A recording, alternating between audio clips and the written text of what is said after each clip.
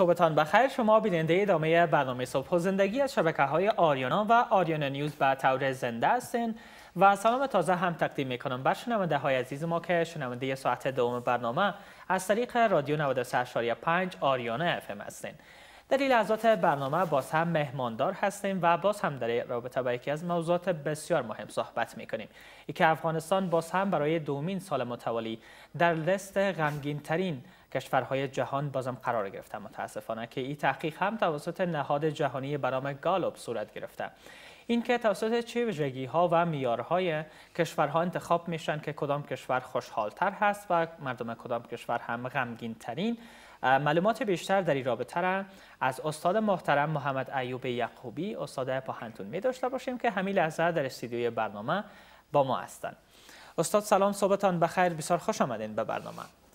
به نام و یاد خداوند بخشنده و مهربان سلام و صبح بخیر دارم خدمت شما دکتر صاحب گرامی همکاران دستن در کاران و تمامی بیننده های گران قدری که از این روزنه زیبا دارنده صدا و سیمای ما هستند. امید دارم که امروز را به خوبی خوشی آغاز کرده باشه. بسیار تشکر استاد سلامت باشین. اگر چی موضوعات غمگین کننده و ناراحت کننده بسیار زیاد است ولی آرزو می‌کنم صحبتانه آنقدر غمگین آغاز نکرده باشین و با لبخند آمده باشین. تشکر زنده باشیم. همون ناچار هستیم در شرایط امروز. هر گونه کسی یک لبخندی ظاهرا بر لب داشته باشه. بله بله. اما ظاهرش هم شاید تا حد کمک کننده کمک باشه, کننده باشه بله. بله. خب استاد قبل از اینکه در رابطه با افغانستان صحبت بکنین که چرا باز هم برای دومین سال متوالی در لست غمگین ترین کشورهای جهان قرار گرفته خب این موضوع شاید هموطنان ما تحلیل های خودشان داشته باشند بهتر است قبل از همه در رابطه با نهاد گالوب صحبت بکنین که توسط چه معیارها و ویژگی های انتخاب می‌کنه که یک کشور خوشحالتر باشه یا هم غمگین تر و چه معیارات کشورها را مورد سنجش قرار میده دقیقاً بله. نهاد اکادمیک گالوب از سال 2002 به این طرف با همکاری با دانشگاه آکسفورد و سیمون کانادا. اینها معیارهایی را وضع کردن تمام کشورهای جهان را آمدن بررسی کردن سنجش و آراگیری داشتن تا که بدانند کدام کشورها کدام مردم از زندگی خود راضی هستند و کدام کشورها را ما می‌تونیم به نام خوشحالترین کشورها و کدام مملکت ها را می‌تونیم از جمله غمگین ترین کشورها نامگذاری کنیم. بله. اینها معیارهای مشخصی را از خود در زمینه وضع کردن. مثلا معیار گذاشتن رضایت مردم از شرایط زندگیشان. چقدر مردم یک سرزمین یا کشور از زندگی که دارن رضایت دارن. چقدر در یک جامعه جنراسیتی یا سخاوتمندی اجتماعی وجود دارد. چقدر هم مردم در یک جامعه با همدیگر اراده همکاری و تعاون دارند. چقدر افراد یک جامعه با آینده خود امید دارند و اوضاع اجتماعی مردم چقدر است و چقدر شرایطی که در زندگی انسان ها حاکم میشه بر مبنای انتخاب خودشان است. در کل بله. شش کتگوری را وضع کرده بودند که تمام این کتگوری ها نشان دهنده رضایت مردم از شرایط زیستی و زندگیشان بود که مردم از این شرایطی که بالایشان آمده آیا تحمیلی است یا بر اساس معیارهای انتخاب خودشان آمده؟ و هر سال اینا پژوهش‌های خود را انجام میتن و در سال 2021 امسال این تحقیق صورت گرفت. متاسفانه کشور عزیز افغانستان از جمله غمگین ترین کشورها به می شکل متعاقبا زامبی و رواندا و اینها از جمله کشورهای غمگین شدند و کشورهای مثل فنلند متعاقبا دنمارک و بعد از او آیسلند. اینها سویزرلند کشورهای شدند که از جمله خوشحال ترین کشورها بودند. کشور همجوار ما کشور ایران 77 مین درجه را کسب کرد و کشور پاکستان 103 درجه را کسب کرد. و بعضی کشورها در این بندی ها نسبت به سال گذشته صعود کردن بالاتر رفتن و بعضی ها پایین آمدن. اما افغانستان عزیز ما با کمال تاسف سال گذشته هم در قرع جدول قرار داشت و امسال هم در آخرین رده ها قرار دارد. بله متاسفانه. خب این نشان میده که باز هم تغییرات قابل ملاحظه نامدن ولی سوال اینجاست که قبلا خب وضعیت اقتصادی افغانستان نسبت به حالت فعلی شاید به مراتب بهتر بوده. ولی چرا با آن هم افغانستان باز هم نتونست که قبل از یعنی ای دوره در سال 2020 حداقل جایگاه بلندتر از آن خود بکنه. حالا که در امون یک وضعیت در دو سال متوالی قرار گرفته. واقعا بله. زمانی که به افغانستان عزیز نگاه می‌کنیم چشم ها به این می‌باشه امیدها به این می‌باشه که هر سال ما نسبت به سال گذشته خوبتر شود پیشرفت. اما متاسفانه ما در یک حالت نزول قرار داریم. ما داریم به طرف پایین میریم. هر سالی که در افغانستان میاد به سال خونبارترین سال تعریف میشه. سال بعدیش میاد نسبت به سال گذشته غم انگیزتر می‌باشه. اوضاع اقتصادی همین گونه. آمار بیکاری هر سال گرافش بیشتر میشه در جامعه ما متاسفانه. میزان فقر میزان جرای میزان خشونت ها در سرزمین عزیز ما متاسفانه روز به روز و سال به سال افزایش می پیدا می‌کنه. ما به طرف پیشرفت حرکت نداریم بلکه داریم ما مستقیما به طرف عقب میریم. عوامل دلایل متعددی در زمینه وجود داره. دلایل سیاسی است دلایل اجتماعی است. و مسئولیت دولت هاست که در زمینه باید توجه داشته باشند برنامه داشته باشند. و باور ما آنچه که افغانستان ما امروز به عقب نشان به عقب رسانده. است که اراده خالصانه به خاطر ساختار سرزمین عزیز افغانستان وجود نداشته. این معیارها نشان دادی سنجش ها نشان داد که هر آنقدر پولی که در افغانستان مصرف شده هر آنقدر هزینه هایی که در سرزمین صورت گرفته به خاطر رضایت و خوشحالی مردم نبوده. بلکه به خاطر منافع مردم نبوده به خاطر منافع بله. ملی پس خرج نرسیده. بلکه استفاده های شخصی از اینها بیشتر صورت گرفته. اهداف سیاسی در ماورایشان وجود داشته. اراده بر خدمت گذاری به مردم افغانستان با واقعا به شکل درستی که باید وجود داشته باشه وجود نداره. بله. به همین اساس است که مردم عزیز و نازنین کشور همیشه رنج همیشه سختی ها را سال به سال می‌کشن دقیقاً. استاد از لحاظ مالی هم اگر ما مردم افغانستان را طبقه بندی بکنیم خب باز هم برمیگرده به سه طبقه ای که طبقه پولدار هست متوسط و همچنان طبقه فقیر. چرا همیشه آسیب ها و مشکلات و دردها برمیگرده باز هم به طبقه فقیر و افرادی که واقعا وضعیت اقتصادی خوب ندارن و همیشه دچار مشکلات و کشمکش ها هستند واقعا طبقه فقیر جامعه افغانستان و تمام جامعه از جمله آسیب پذیرترین طبقه های جامعه دانسته میشه که از هر منظری اگر ما به طرفشان نگاه کنیم اینها آسیب های بیشمار را می‌بینن. حتی امروز اگر نگاه کنیم دکتر صاحب گرامی زمانی که یک جوان را ما می‌بینیم بیکار است.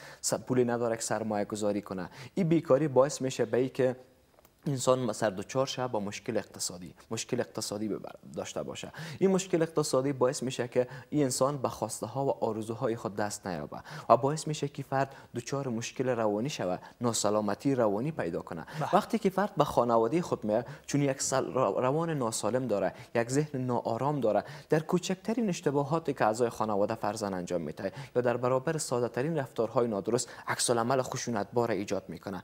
می‌بینیم که بیکاری آمد مشکل اقتصادی مشکل اقتصادی مشکل روانی و بعد از او آمد خشونت را ایجاد کرد. و این خشونتش باعث میشه که افراد در برابرش خشونت متقابل را انجام بدن و نهاد خانوادهشان از بین بره. نه تنها خود فرد بلکه فرزندانش هم آیندهشان آسیب می‌بینن. به این اساس از هر منظر اگر نگاه کنید در دنیای امروز اقتصاد یکی از نیازهای اساسی هر خانواده و هر انسان دانسته میشه. وقتی که اقتصاد وجود نداشته باشه آسیب پذیری جنایی در خانواده ها و افراد وجود می داشته باشه آسیب پذیری های روانی در وجود افراد ایجاد میشه و در واقع یک مشکلات بیشمار در زندگیشون ایجاد میشه. و به دلیلی که دولت عزیز ما توجه زیاد به این طبقه نداشته. در افغانستان ما نمیگیم که ثروت وجود نداره ما نمیگیم در افغانستان سرمایه وجود نداره. همه چیز هست اما در افغانستان توزیع ناعادل عادلانه وجود داره. کار به اهلش سپرده نمیشه. حکومتی که می‌رسه کمتر مواردی میشه که به مستحقان و نیازمندان واقعیشان برسه. به همین اساس است که طبقه در همیشه در حالت فقر میمونه. همین فرزند که فقیر و نیازمند است زمینه بله. تحصیل برش فراهم نمی باشه او نمی‌تونه که در دانشگاه های معتبر بره بهترین درس را بخونه. حتی امروز ما خانواده هایی داریم که پول پرداخت کتابچه و هزینه های تحصیلی فرزندانشان را باقی ندارن. بله. بر همین اساس است که اینا باعث میشه همیشه در یک حالت قرار بگیره. و این مسئولیت اساسی از اساسا از یک دولت است و ثانیا از تمام افراد جامعه است که به این قش توجه داشته باشند و همکاری خود را با اینا داشته باشند در بدون شک استاد. خب حالا که افغانستان در رده غمگین ترین کشورهای جهان قرار گرفته و این وضعیت است که یعنی همه ما فعلا در مو حالت قرار داریم. چه کار باید ما انجام بدیم؟ حداقل به خاطر تحمل و کنترل چنین وضعیت. واقعا اگر از این نظر نگاه کنیم اگر بغیر از افغانستان بغیر از مردمی عزیز و نازنین کشور شاید این حالت و این شرایطی که سردوچار و حاکم است در ممالک دیگر پیشرفته جهان می بود بزرگترین آمار خودکشی ها در کشورها دیده می شد. بیشترین گراف جرایم ها دیده می شد. اما باز هم صد آفرین گفت هزار آفرین گفت و درودی فرستاد بر صبر و تحمل مردم عزیز و نازنین افغانستان. با بله. وجود مشکلات انبوهی که داستانش اشک دیگر مردم را بیرون می‌کنه ناراحت می‌سازه اما این شرایط بالای مردم عزیز ما حاکم است. اما مردم عزیز هم باز هم تحمل می‌کنن. باز هم به نوعی در حالت امید بر زندگی با آینده خود دارن. ما بزرگترین مسئولیت هر فرد در قبال است که در دنیایی که زندگی می‌کنیم همیشه کوشش کنیم به ابعاد مثبت زندگی خود نگاه کنیم و بیایم کاری کنیم که این کشور غم دیده این مردم ناراحت ما را خوشحال بسازیم. چگونه ما می‌تونیم خوشحالی را ایجاد کنیم در زندگی ما؟ و باور ما زندگی انسان ها زمان معنا پیدا می‌کنه. زمانی می‌تونه به انسان ها خوشحالی ببخشه که ما زندگی را از منظرگاه معنوی به طرفش نگاهی داشته باشیم. ابعاد معنوی زندگی را هم در نظر داشته باشیم. او زمان است که این اندیشه های معنوی انسان ها انسان ها را آرامش میبخشه و زیباترین اندیشه ها را ما در آیین مقدس اسلام خود داریم. یکی از روانشناسان در کتاب خود میگه میگه ما ده ها کتاب های روانشناسی را به خاطر آرامش انسان ها میبخشیم.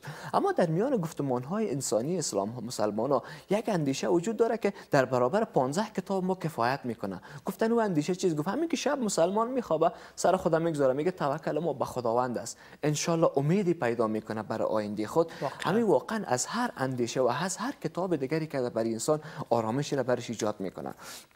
نکته دوم یک تحقیق بر بالای ذهن انسان ها صورت گرفته بود. امارای بالای ذهن انسان ها گذاشته شده بود و دیده بودند که چرا باز بعضی اوقات ما زندگی می‌کنیم کارهایی را انجام میدیم برای ما مشکل تمام نمیشه. بله. و بعضی اوقات کارهای بسیار کوچکی را انجام میدیم برای ما دشوار تمام میشه. زمانی که انسان ها کارهایی را انجام میدن که او بر اساس خوشی می‌باشه بر اساس راحتی می‌باشه در مغزشان یک مواد به نام اکسون هایی است که تولید میشه. این اکسون ها باعث میشه که انسان ها حس خوشحالی داشته باشند و امون رنج امون مشکلی که برشان می‌رسه رو احساس نکنن بس نتیجه به این میشه که هر گاهی که یک انسان میاد دشوارترین کارهای زندگی دشوارترین حالات را با خوشحالی سپری می‌کنه خود را خوشحال احساس می‌کنه او کارها برای بسیار عادی تمام میشه حتی لذت بخش تمام میشه و اگر که ما ساده ترین کارهای زندگی را خود ما بیم خود تلقین کنیم که سخت است دشوار است مشکل است باعث تلقین ذهنی بله. میشه که امو کارها واقعا برای ما مشکل تمام تمام شود. به اساس مردم عزیز ما باورمند بی باشند که این شرایط بالاخره میگذره. هیچگاه یک حالت بد بر یک ملت همیشه حاکم نبوده بلکه همیشه تغییر آمده. در این مورد شیری از خواجه حافظ شیرازی است چه زیبا میگه. یوسف گم گشته باز آید به کنعان غم مخور. کلبه احزان شود روزی گلستان غم مخور. چرخ گردون گردو روزی به حال ما نگشت. دائما یکسان نباشد حال دوران غم مخور. با زنده ساختن این اندیشه های امید به خداوند و اندیشه هایی که ما بدانیم که کشور ما بالاخره وضعش تغییر می‌کنه خوبتر میشه و این حالتی که ما قرار داریم یک امتحان بزرگی است از طرف خداوند انگیزه میبخشه برای ما در این حالت زندگی کنیم و تا که می‌تونیم هموطنان خود را خوشحال بسازیم صحبت های نیک داشته باشیم. حتی یک کامنتی که در فیسبوک عزیز با می نویسیم زیباست که پیامی داشته باشه که برای مسرت ببخشه. این مسرت ها پیام های مثبت ما باعث میشه که ما به زندگی خود توانا شویم و این شرایط را بتونیم. موفقانه سپری کنیم از این حالت بگذاریم بدون شک استاد واقعا گپا و سخنان بسیار عالی را گفتین که همه ما را کمک می‌کنه در زندگی تا بالای مشکلات زندگی و غم ها و درد هایی که بالاخره ما دچار شدیم بتانیم غلبه بکنیم. حالا مستاد می‌خوایم یک مقایسه از شما داشته باشیم که افغانستان را بهتر از بعض اوقات نظر به خوبی ها و نظر به بعض مشکلاتی که ما فعلا دچار هستیم و در کنارش خوبی های هم داریم مقایسه بکنین با کشورهای خارجی یا بیرونی.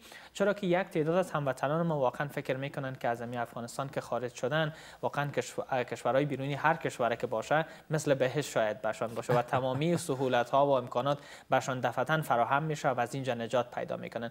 میشه در این رابطه هم صحبت بکنین که از لحاظ معنوی و از لحاظ مادی چقدر تغییرات می به یک فرد که از افغانستان بالاخره مهاجر میشه و پناهندگی حاصل می‌کنه در کشورهای بیرونی. واقعا به یادم میاره یکی از داستان های جالب یکی از شهروندان آمریکایی بود که در افغانستان چندین سال زندگی کرده بود. اوشان در رخنامه خود نوشته بودند در شبکه اجتماعی که ما در میان مردم افغانستان یک فرهنگ زیبایشان را مثال آورده بود. گفته بود که مردم یک فرهنگ بسیار زیبا دارند که ما با وجود تمام امکانات او فرهنگ را نداریم. یک لذت زیبایی را اینها در زندگی خود احساس می‌کنند که ما اونها را نداریم. در او کدام فرهنگ بود؟ گفته بود که این زیبایی را در سفره های خانوادهشان می‌بینیم. زمانی که شب هنگام میشه غذای شب تمام اعضای خانواده پدر مادر خواهر برادر همشون در یک سفره با هم می نشینن غذا را با هم یک جای نوش جان می‌کنن و یک لذت بخش و یک فرهنگ بسیار زیبایی است. این فرهنگ را ما اصلا میگه لذتش احساس نکردیم. وقتی در میان خانواده های از اینا ما یک بار رفته بودم این زیبایی را دیدم خیلی تشنه شدم و این ما در کشور خود که با وجود تمام امکاناتی که ما داریم من این اصلا احساس کرده نمی‌تونم. خیلی آرزو می‌کنم که ای کاش ما هم بتونیم این فرهنگ در کشور خود انتقال بدیم. با واقعا مردم عزیز ما با وجود دشواری هایی که در کشور ما هست لحظات و صحنه های زیبایی زندگی وجود داره که ما اونها می‌تونیم استفاده کنیم. و این بله. برمیگرده به که آیا خود ما زندگی را زیبا می زیبا می‌سازیم یا نمی‌سازیم؟ هیچ ملتی نیست که مشکل نداشته باشه. هیچ کشوری نیست که در او غم وجود نداشته باشه. پیشرفته ترین کشورهای دنیا امروز میزان افسردگی ها در او کشور وجود داره. در او کشورها میزان مریضی و خودکشی ها به شمار زیادی وجود داره. اما با باور ما ما فرهنگ های بسیار زیبایی داریم انسان های بسیار عزیز و نازنین داریم. برمیگرده به که ما آیا قدردانی لحظه های خود هستیم یا نیستیم؟ آیا ما از اینا استفاده می‌کنیم یا که استفاده نمی‌کنیم؟ او زمان از کشور عزیز ما بهترین کشور برای ما می‌تونه باشه سلامت باشین استاد محترم. از حضور شما بسیار تشکر می‌کنم در برنامه. و اگر پیام و گفتنی داشته باشین به خصوص به مقامات و مسئولان حکومت امارت اسلامی به خاطر شناخته شدن افغانستان به عنوان یک کشور غمگین میشه صحبت هایتان شریک بسازه. تشکر از شما و برنامه زیبایتان. ما در ادبیات سیاسی و حکومت شناسی پرقدرت ترین دولت و دولتی است که رضایت مردم خود تانسته باشه کسب کنه. و این در ادبیات دین مقدس اسلام ما از جایگاه واله برخوردار است. پس به این اساس که وقتی که ما میشنیم که مردم افغانستان مردم عزیز و نازنین و این کشور از جمله غمگین ترین کشورهای جهان محسوب میشن از جمله فرائض درجه اول یک نهاد حکومتی دانسته میشه که به خاطر از بین بردن این حالت تلاش های همیشگی خود را انجام بده و این کار در اولویت خود قرار بده و بدانه که از جمله یک فریضه از جمله یک مسئولیت و یک وجیبه بزرگ دینی و انسانی شان میشه خیلی ممنون. سلامت باشین استاد. وقت و لحظات خوب و خوش برتان برای شما همچنان سلامت.